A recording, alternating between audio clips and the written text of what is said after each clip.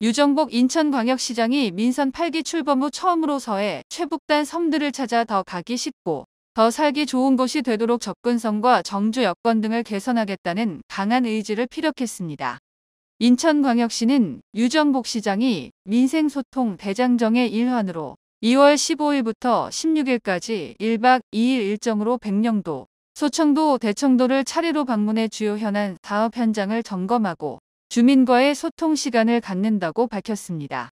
15일 첫 일정을 위해 백령도에 도착한 유 시장은 천안함 46용사 위령탑을 참배한 후 백령도 등 최북단 섬 지역의 안보를 책임지고 있는 해병대 제육여단을 방문해 현 안보 상황에 대한 설명을 듣고 군 장병들을 격려했습니다.